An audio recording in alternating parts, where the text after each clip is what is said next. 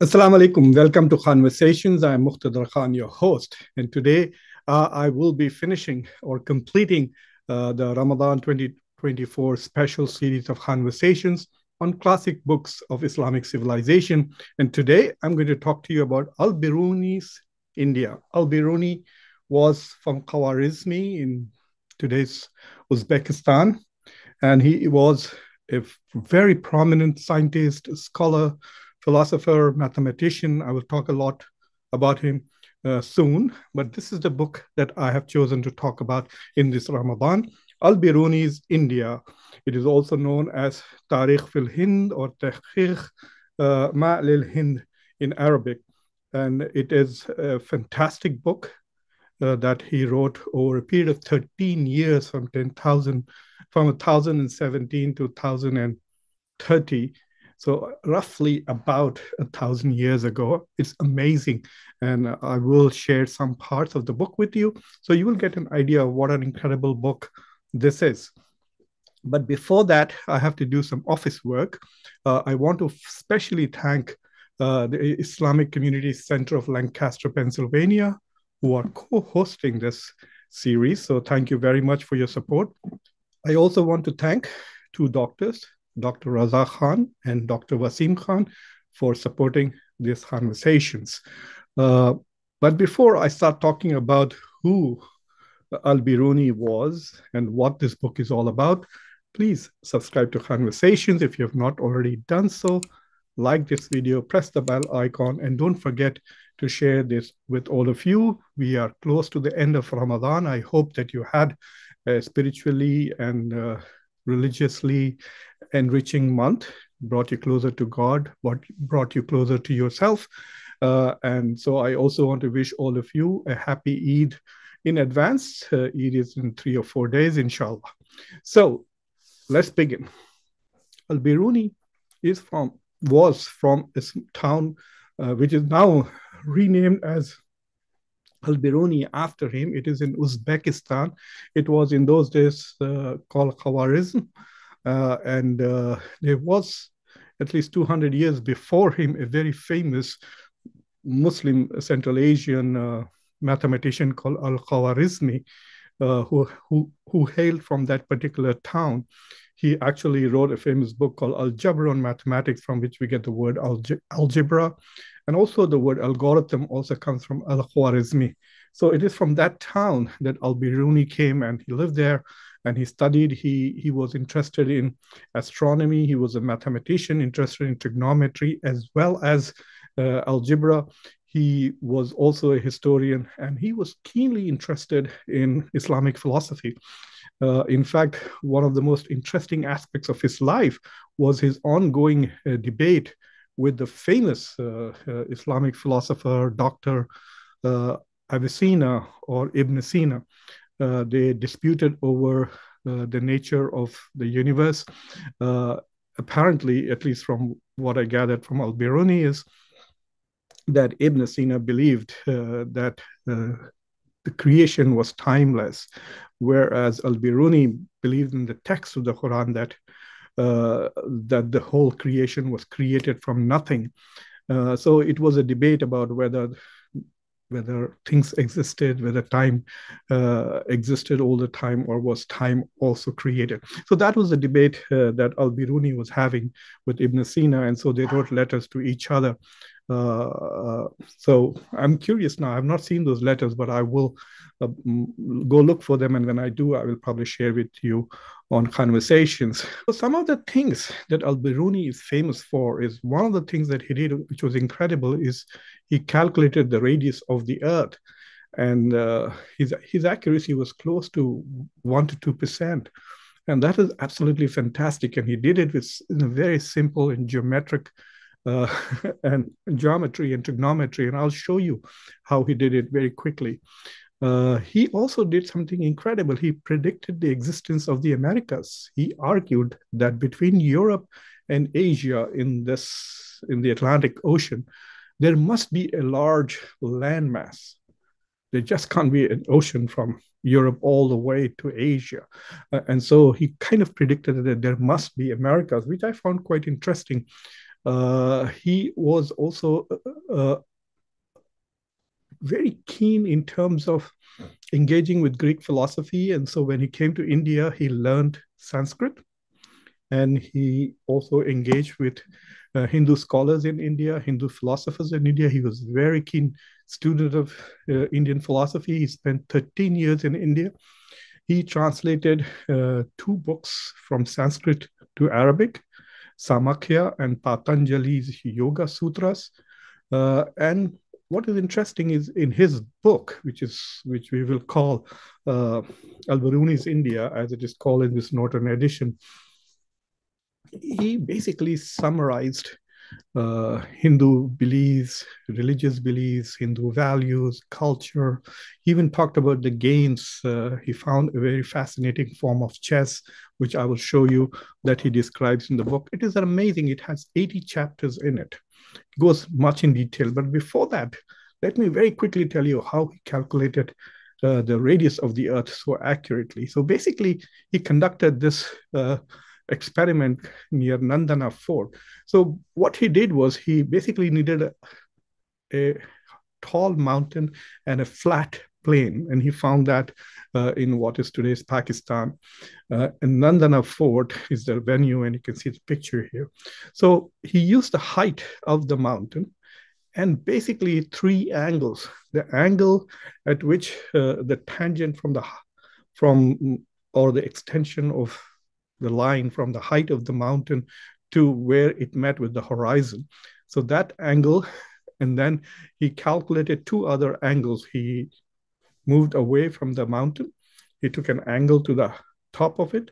Then he measured the distance to, to another point and then measured. So he measured these two angles. And based on that and the height of the mountain, uh, he was able to calculate, and you can see the trigonometric calculations. A lot of people have replicated his experiments. If you go to YouTube and just Google Al-Biruni and radius of the Earth, you will see several such videos, but the best one is the one that was done by BBC, which basically replicated his experiment, and they also got pretty accurate readings uh, using uh, Al-Biruni's uh, methodology. This picture that you see is of the Nandana fort where he conducted uh, the experiment to measure the radius uh, uh, of, uh, of planet Earth. And this picture is one of those iconic pictures that is from his book where Al-Biruni describes the different phases of the moon. Uh, as I said, he translated the Yoga Sutras of Patanjali. He, he loved this book. It is very clear from his writing that he was uh, quite impressed by the contents of the book. Um, so I want, before I preface, uh, talk about his books, I want to preface it with the comments that I found him quite philosophical. I did not really expect it. I the first time I read Al Biruni was 20 years ago, uh, while I was in grad school, and at that time I was not very familiar with Islamic philosophy and the debates uh, uh that uh, kept Muslim philosophers engaged. Now that I know of the debates and the theological debates also between rationalist and traditionalists in the Islamic tradition, uh, I was able to appreciate uh, Al-Biruni's knowledge uh, and familiarity with all of those debates and his profound understanding of those debates. So keep that in mind uh, as we go along that he was philosophical and he was more interested in philosophy. Uh, in his opening of the book, he talks about methods, he talks about why people lie, and so he emphasizes the need to separate uh, falsehood from truth and essentially talks about his methodology, in which he says very clearly that, look, my goal is to describe things as I see it and as I find them. I'm not neither here to criticize them nor to praise them. Whether you accept them, whether you find them reasonable or not, that's up to you. I'm going to tell the story as I see it. So it was a very interesting, and that is why um, Al Biruni is also considered uh, the father of anthropology. He's perhaps the first anthropological scholar. I might imagine 13 years of field work and learning the language. This is what area studies people do here in political science, etc. You learn the language, you go and do field work, and then you come back and write your dissertation. Al Biruni did the same thing. He learned the language, understood uh, read the main books uh, of uh, India, engaged with many of the philosophers, it is very clear that he read Patanjali, he read Samkhya, he read the Bhagavad Gita, he read Mahabharata, he read the Vedas and the Puranas and the Upanishads. It's very clear from the book itself, where he summarizes some of them, identifies them, lists all the various kind, various Puranas that he encountered, and so it was very clear that he did a very thorough job of his research. But there was clearly this philosophical, he was less social scientific and more philosophical, even though his observations are incredible. And I want you to keep that in mind. Besides being the father of anthropology, Al-Biruni is also seen as the father of geodesy, which is the science of understanding and studying the planet Earth, its geography, circumference, etc. Anyway, so the first thing he writes uh, about Hindus uh, is that he talks about their beliefs. He says the Hindus believe with regard to God that He is one, eternal, without beginning and end, acting by free will, almighty, all wise, living, giving life, ruling, preserving. One who in his sovereignty is unique beyond all likeness and unlikeness, and that he does not resemble anything nor does anything resemble him. In order to illustrate this, we shall produce some extracts from their literature, for the lest the reader should think that our account is nothing but hearsay. What I found fascinating about this paragraph, that's why I read it, is that for every description of God that he gives, first of all, he sees Hindus believing as monotheists who, who regard that God is one, he's eternal. There is, these are all attributes of God that you will find in Quran. God is one. God is eternal. He is Samad. He is without the beginning and the end. He's acting by free will. He's almighty, Al Qadir. He's all wise, Al Hakim. He's living, Al Hayy. He gives life. There are so many uh, uh, names of God which come, Musawwir, etc., about him being a creator and its sovereignty is al muqtadir it's amazing. And then he says beyond all likeness and unlikeness that he does not resemble anything. Laisa ka mislihi these are all in the quran. So when i first read it i said what is he trying to do? Is he trying to project the islamic concept of one god on hinduism? But then he goes on to say no look this is how they thought of it and he continues to sprue it from the bhagavad gita especially he also says this is what educated people believe about God. They call him Ishwar, self sufficing, beneficent, who gives without receiving. They consider the unity of God as absolute. He repeats this in the book, but that everything beside God, which may appear as unity, is really a plurality of things. So I found this very fascinating that he essentially uh, sees Hinduism as a monotheistic religion. But and then he says, look, let's look at the discussions from the Patanjali. And he repeats and translates some of the text right here. So he says, uh, the student asks the master about God's knowing. He says, his knowing is the same from all eternity forever and ever. This is also a very Islamic concept that there can be no change in God. God does not learn. He knows everything. He always knew everything. Uh, the people says, where does this knowledge come? The master says, his knowing is the same from all eternity, forever and ever. So, uh, and praise and celebrate him who has spoken the Veda as before and was before the Veda. So he talks about God, God and his knowledge. But the main point that he tries to make is he says there are educated, and he uses the word ashraf, elite people who are capable of philosophical abstraction, and then there are ordinary people. He says the most essential point of the Hindu world of thought is that which the Brahmins think and believe. So it, he holds the Brahmins in a very high esteem. He says these are the knowledgeable ones, these are the spiritual ones, these are the scholarly ones. So their values and their beliefs of Hinduism is what matters about Hinduism. For they are specially trained for preserving and maintaining their religion. And this is it which we explain the belief of the Brahmins. So he's very clear in saying that when I'm talking about God, I'm talking about what the Brahmins are talking about. He does acknowledge that that the ordinary people who are non-Brahmins have a variety of beliefs uh, and practices and he does not dwell much to him. He values this so much. So he talks about the creation, and it is very clear that he's very fond of Krishna and refers to him as Vasudeva and constantly keeps uh, quoting Vasudeva from the Bhagavad Gita, from the Mahabharata, uh, and elsewhere too. Uh, I'm skipping now and moving to the sixth chapter, in which he talks about the different worlds uh, that the Hindus perceive creation as. He says that they see the world as composed of three lokas, three worlds. Uh, he says the higher one is uh, Swaraloka or paradise, the lower one is Nagaloka or the hell, and then you have the Madhyaloka or Manushya This is the world where we all live. Uh, and then he does something very interesting where he quotes uh, uh, the, from the Bhagavad Gita and says, Vasudeva uh, is telling this to Arjun I am the universe without a beginning by being born or without an end by dying. And he's, he's so he's clearly fascinated with the philosophical and the highest uh, intellectual way of understanding the existence and the being of God.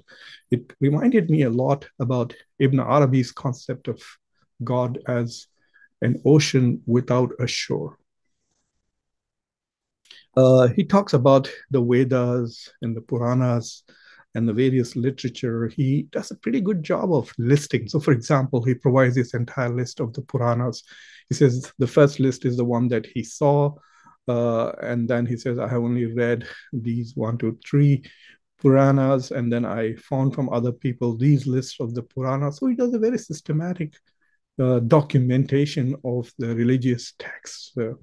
Uh, the medieval and later Muslim scholars are very good at this. They call them Fehrists, so they would believe uh, build uh, annotated bibliographies of books that existed during that time. So when you read these scholars, you know what all books they saw or they thought existed at that time. If you remember, I showed you the Falsafa uh, of Ibn Tufail. Now, that was such an annotated bibliography. He points to a very interesting game. He's, he says uh, the Hindus play chess in a very interesting way. He says, I had never seen this before. It's a four person chess. And he proceeds uh, to describe uh, it and you can see this table that he draws and says this is how they played uh, this is how the game starts and this is how they played a four player chess. And later on i did some research after reading this because honestly i didn't know about a four player chess uh, chess. I had lived in india for 25 years never seen it never played it. Apparently the game is called chaturaji and you can see a photograph of uh, of how the chess, uh, the Chaturaji chess with four players is played. As I told you, uh, Al-Biruni was very fond of uh, Vasudeva, and so he provides a chart and says Vasudeva has many names and uh, and he has a name for every month. So he says that in this month he's called Kesava, in the second month he's called Narayana, in the third month he's called Madhava, in the fourth Govinda, in, in the fifth month he's called Vishnu, and he provides a list of the names uh, and the list of the months. Uh, I really didn't know this until recently. So in my first reading, also I probably skipped this chapter. So it's that was very interesting that he went to this great lengths to document this. Uh, and uh, he talks about astrology, Hindu astrology. There are lots and lots of charts uh, and all the different elements of Hindu astrology that he describes in great detail. Um, I want to add the note that uh, Al-Biruni did not like astrology. He thought it was a speculative and not really a true science. He believed in astronomy, and he was a great astronomer himself, as you can see from the diagram of the phases of the moon that he plotted. Uh, one of the chapters that he addresses is castes, and this I think is the ninth chapter in the in the book. There are 80 chapters in the book. One thing that is very interesting about Al Biruni is that he's not trying to judge uh, Hindus or what he found in their engagement. He learned the language, Sanskrit. He read all the creed texts. He engaged extensively with philosophers, Hindu teachers, and the Brahmins, and try to be as, uh, shall we say, uh, honest and truthful in his representation of their views. And whenever he found something that he didn't like, he would try to moderate the impact of his reporting by also saying, look, we also find these problems uh, in our society, in Muslim societies. So when he addresses the caste system, he begins by first talking about how the ancient Iranian empire had caste system. So he says, uh, when Ardashir ben Babak restored the Persian Empire, he also restored the classes or castes of the population in the following way. So he says that in the Iranian culture, the Persian culture, there were four castes. The first class were the knights and princes, the second were the monks and the fire priests and the lawyers, the third class, the physicians, astronomers, and other men of science, and the fourth class, the husbandmen and artisans. So the class system is not exactly like the Hindu system, Hindu or Indian class caste system, but there was a caste system. So it's trying to say, look, this is not something that is unique to Hinduism or India. Uh, in Arabic, it would be Al Hind. So, but he says, look, I mean, the hierarchy is different. For example, the monks are higher in the Hindu system than the knights, who would be Kshatriyas. Uh, there is, no, I'm not very sure whether the physicians and professionals, scientists, etc., have a caste of their own. Uh, the businessmen and then people who do ordinary work. So he goes on and identifies. Basically, he says there are five types of people in India. Uh, and he says they're all castes. The castes are called as varna, that is colors. And from a genealogical point of view, they call them jataka or births. And he says, so basically there are four castes. And he says the highest caste are the Brahmins, of whom the books of Hindus tell that they were created from the head of, Brahman, Brahman, the one God. And then he says uh, the next caste is the Kshatriyas, and they are created from the shoulders and hands of Brahman. Then he says, after them follow the Vaisyas, who are created from the thigh of Brahman, and the Shudras, who were created from his feet. And then he identifies another group of people called Antyaja. He says these are people who are outcasts, they're not allowed to live in the same city.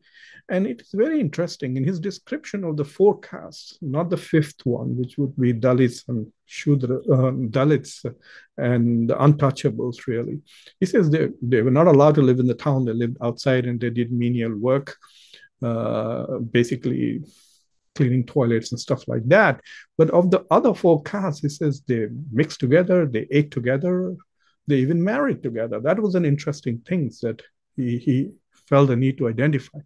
And then, of course, uh, he also, like I said, he is quite fond of uh, of uh, Krishna and Vasudeva, and so he goes back to the Bhagavad Gita and, and explains the Indian caste system uh, based on how uh, basically Vasudeva explains it to Arjuna. And it's very interesting as to how, in the point apparently Vasudeva was trying to make to Arjun was that if you fulfill your caste profile, like what is expected of you as a Brahmin, to to become spiritual, to get religious knowledge, to preserve religious knowledge, to share religious knowledge, to Kshatriya, to be brave, to fight, to defend.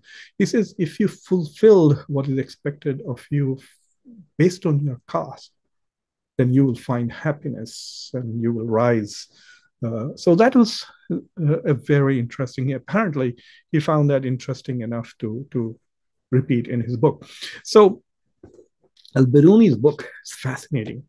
I only shared four or five chapters and its contents with you. Uh, some of them I may not be interested. Some of them you might be interested. So go through it. It's, it's encyclopedic. It's like Ibn Khaldun's Muqaddimah and his uh, history of the world. Uh, and uh, so, so get a copy of Al Biruni's India. Um, I mean, this is an old copy and uh, it's not very easy to read. So there are less expensive uh, electronic digital vers versions on Amazon, which is what I downloaded. And so you are seeing the screenshots uh, of Al-Biruni's ideas that I took from the digital version.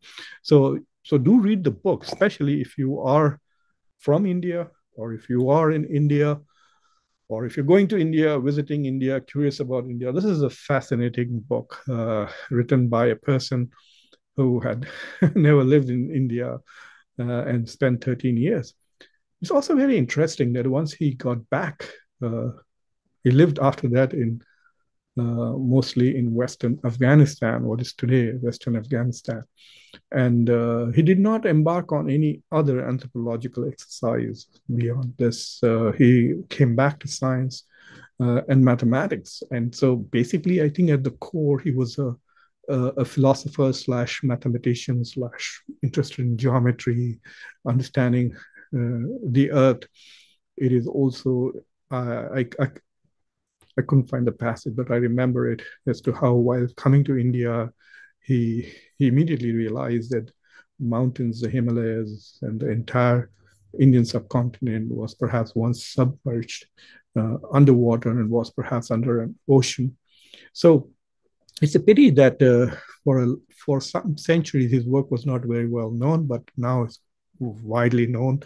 Uh, and uh, the British actually did a good job of making Al-Biruni's work known. And so I hope you found today's discussion useful. Please see if you can get a hold of Al-Biruni's India and, and browse through it, if not, read it. Uh, so I hope you found this very interesting. So don't forget to subscribe to Khanversations, like this video, press this bell icon. Don't forget to share with it. So well, this ends my Ramadan 2024 uh, special series uh, on uh, classic books from the Islamic civilization. Uh, I perhaps will continue this even during uh, the non-Ramadan month, or maybe again come back to it. There are so many other books I would love to share with you. Uh, and uh, I hope you found this interesting. I might also do some classics from uh, the Indian uh, civilization. I have already done uh, Arthasastra uh, by Chanakya or Kautilya, and I've done that both in Hindi and English. so do take a look at it if you like. so thank you very much for watching. thank you to ICCL for co-hosting this, and thank you to the two Khans for supporting it. Uh, and until next time, I'm your host, Muqtedar Khan. Eid Mubarak.